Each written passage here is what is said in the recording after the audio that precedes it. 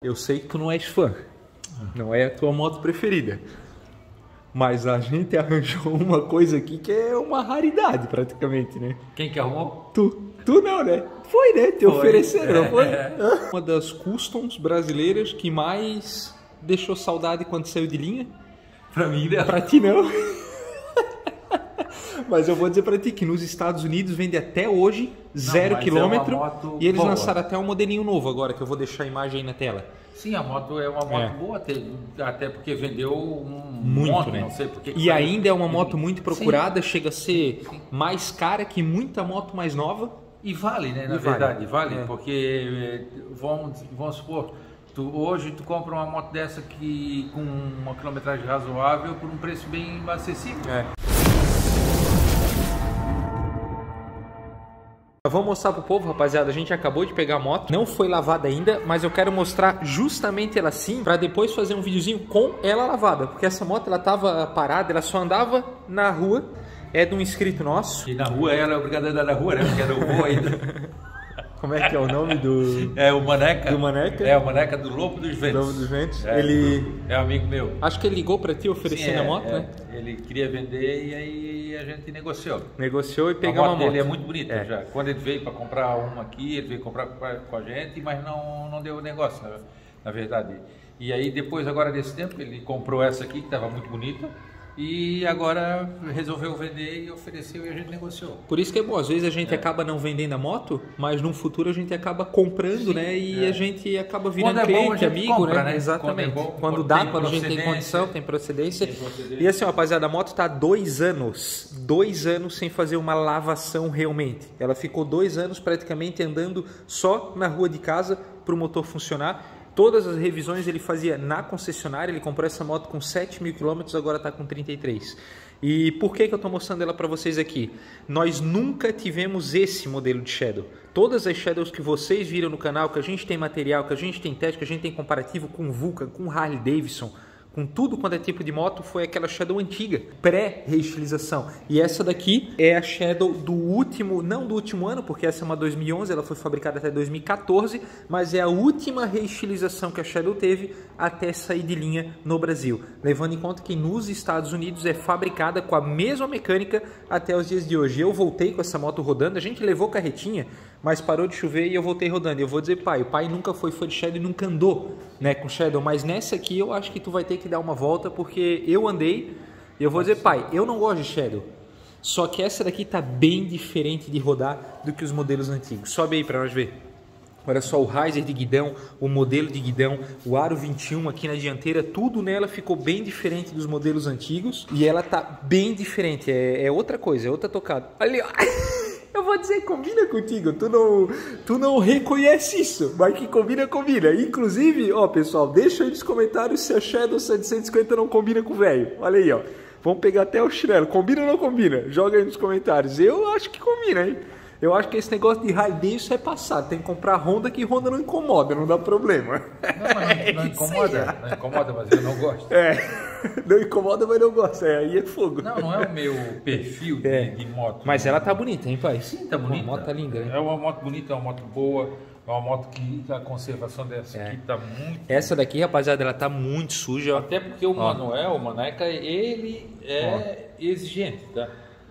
Olha só, eu vou levar ela para lavar lá na Lowrider. A gente vai fazer uma lavaçãozinha detalhada top. não, Não. E uma moto desse ano aqui, rapaziada, 2011, aqui do litoral, né, pai? Tem guardadinha Pô, de no- Itajaí, né? Na capa, né? Na capa tem que ser, né? Porque isso aqui, ó, oxida tudo, rapaziada. Tudo, toda Shadow oxida aqui, toda Shadow descasca o plástico, toda Shadow oxida essa parte, descasca aqui. É a única coisa que Cara, isso aqui, ó. é. Ah, mas isso aí é de E plástico, né? Toda ó, ela acontece. Você ter uma noção do, do, do proprietário, do esse proprietário dela, né? E, e quando ele Antigo, comprou, né? Agora é nosso. É, quando ele comprou essa moto aqui, ele, ele conversou comigo e, e a moto tinha esse defeitinho aqui, ó, já. Sim, toda ela Porque isso aqui é plástico. Isso é né? plástico. Então, ele comprou, ele botou novo, mas logo também É, começou a acontece. rodar e ela É. acontece isso aqui. Então Qual isso é- é uma coisa que Não, é- isso aqui não é defeito, tá, Não é rapaziada? defeito. Isso é uma característica da peça é que toda Honda Shadow vai acontecer pelo seguinte motivo: o filtro de ar dela e as tampas aqui do cabeçote e essa tampa aqui lateral do motor, elas não são metálicas cromadas igual da Harley Davidson. Elas são de material plástico com acabamento cromado.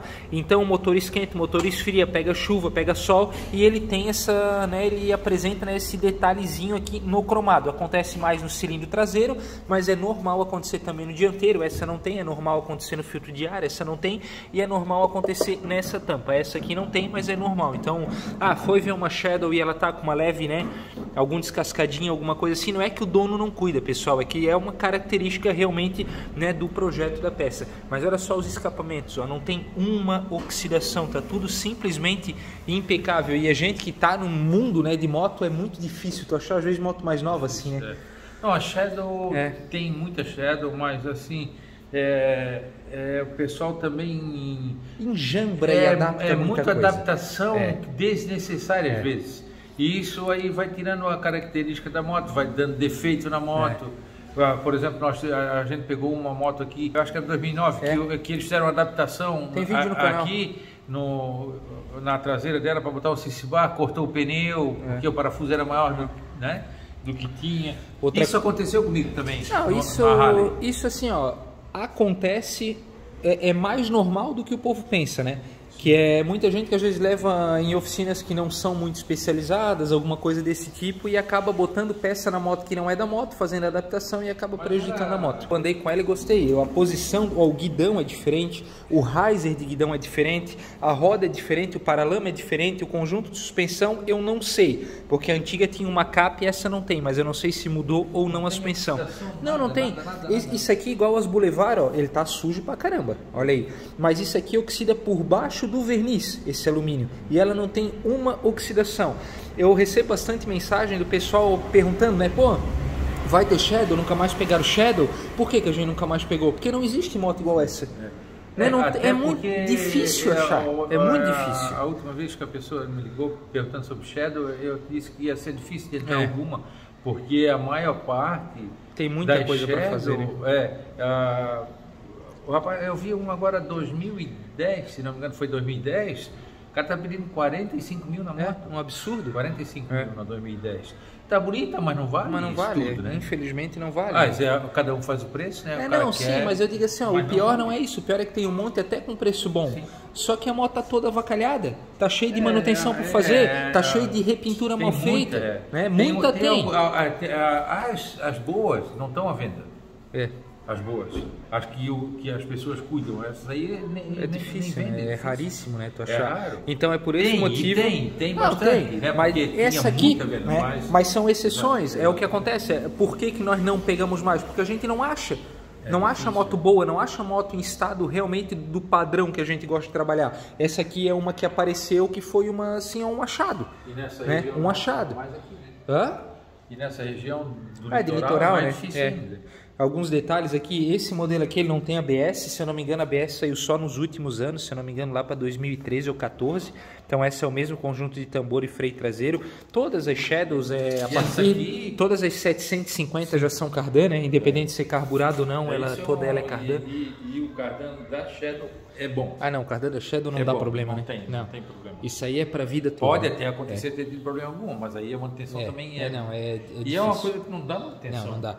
Ela já está com outro pneu, né? Tá com Metzeler, já foi trocada. A moto tem 33 mil quilômetros. E olha só que legal, cara. Nem não tem oxidaçãozinha aqui, ó.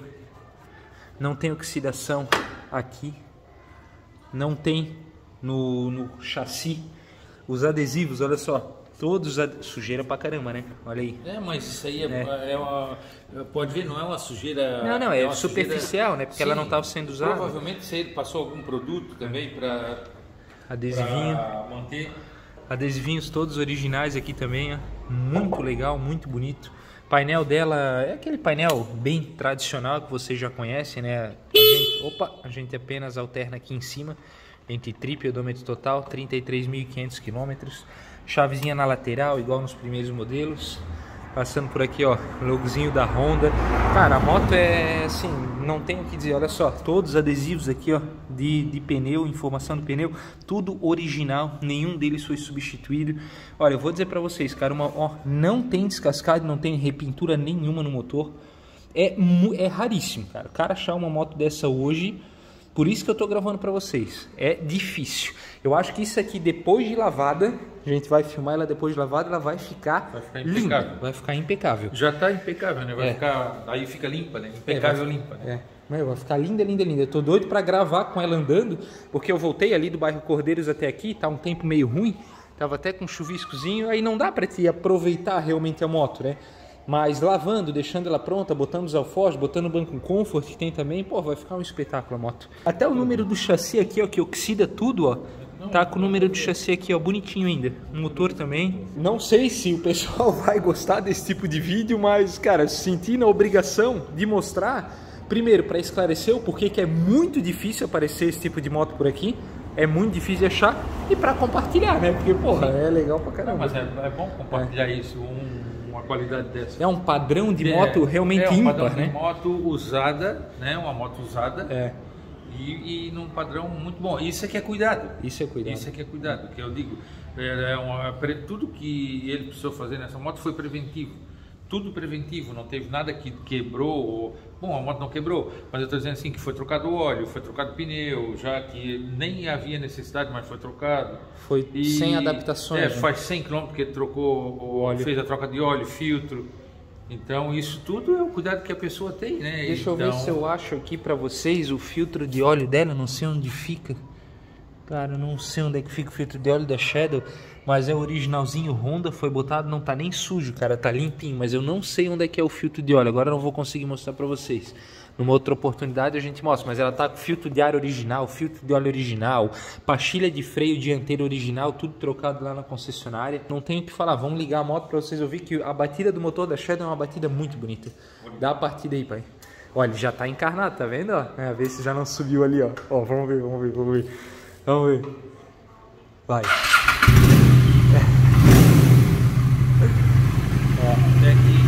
Não, é original, né? Mas é um roubo bonito. Adeus. Não é plataforma, é pedaleira normal.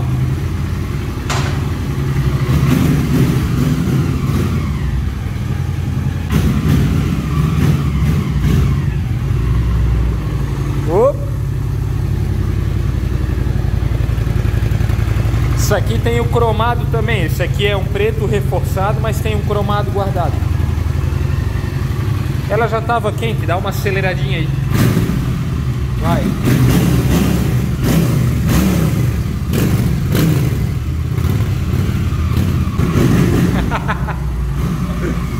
tá bom aí. Ó, tá vendo qual que é o lance da moto custom? Olha aí para manobrar uma custom com entrecho grande, ó é bem mais trabalhoso que uma trail, que uma até que uma nakedzinha.